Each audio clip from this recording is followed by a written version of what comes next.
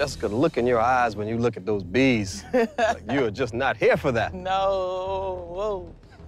no, I'm terrified. The person retrieving the honey is It's not me, is it? Jessica.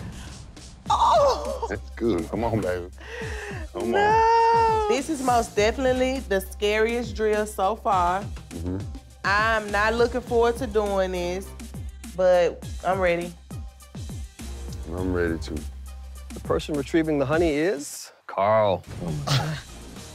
I'm glad that he's doing it. I don't play with bees. I don't play with bugs. I don't play with anything that flies or crawls. Tammy. We scared of like this. Even if I'm scared, when it comes to my family and it comes to We know you my, you, I'm gonna do what the I gotta do. It's as simple as that. You coming with me or not? No. There's another suit right there. Go in there. All right, he's in. Yo, I'm dying right now. Mm. Anything physical that needs to be done in our marriage, I always handle it. Come on, Tammy. Ooh, Jesus. All right, Jessica, go for it. Ooh.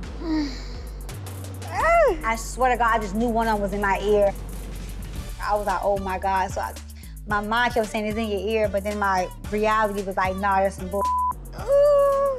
I'll hit my face. Gentle, gentle. They can smell fair, Karl. Like, I don't want to see Karl get hurt. Like, sometimes I'd be want to punch his face in, or I want to punch his head off, but I don't want him to die. Nice and easy. Great job. Well, Jessica, how was that? It was exciting. really?